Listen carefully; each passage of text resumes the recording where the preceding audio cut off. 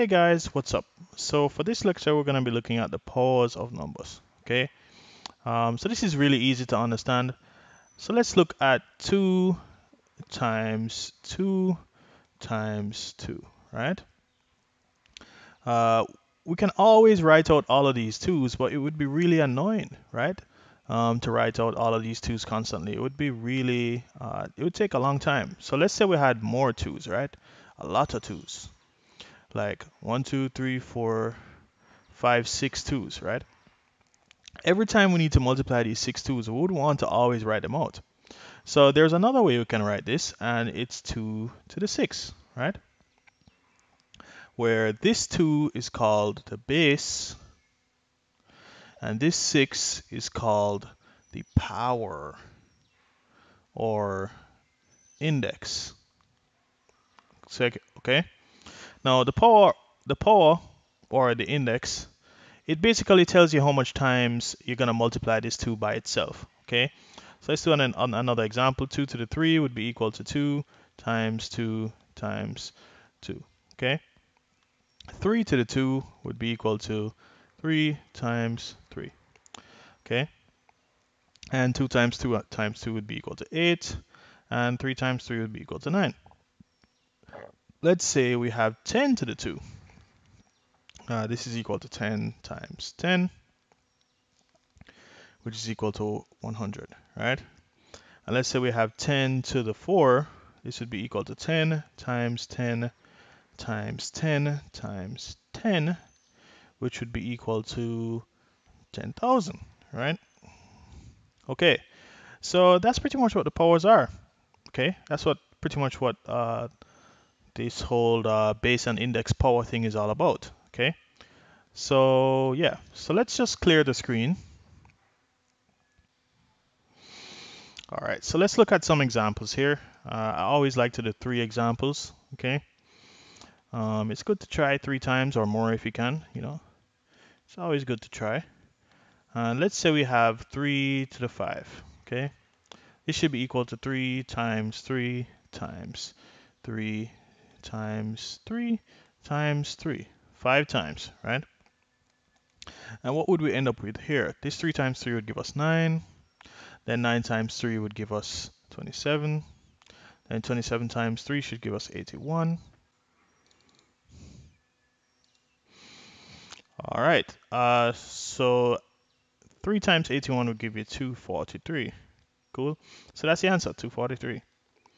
Uh, let's do the same thing with 9 to the 3. So 9 times 9 times 9. 9 times 9 is 81. And then 81 times 9 should give us, right, should give us 729. And you, you can use a calculator if you want to as well. And then 2 to the 4 would be 2 times 2 times 2 times 2 which would be equal to uh, 16, right? All right. So not too bad. Uh, let's look at some other examples. All right, guys. So let's look at these examples, okay? Um, and for these examples, the question says simplify, right? Leaving your answer in index form. Your answer in index form. Okay. Okay, so let's look at the first one. The first one is 2 times 2 times 3 times 2 times 3 times 3. So the first thing we're going to do is Remember the first law, um, commutativity, it doesn't matter what the order is. So we're going to group the like numbers first. So we're going to get 2 times 2 times 2. There are three 2's. And then we'll have 3 times 3 times 3 times 3. So you can write this as 2 to the 3 times 3 um, to the 3, right? And this would be correct. And that makes a lot of sense. So let's just write the answer up here. So 2 to the 3 times 3 to the 3 is the same answer as this long thing here. Okay. Okay, so let's look at the next one. Um, this one here. Okay. Um, yeah, so for this one, we're going to do the same thing. Uh, we want to order it, and we see there are two fours, so that's 4 times 4. We want to group the, the like terms?